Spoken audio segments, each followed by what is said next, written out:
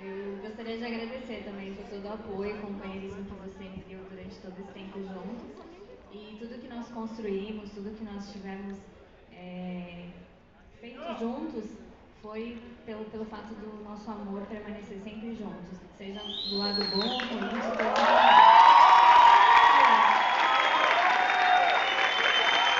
Caramba! Parabéns, viu?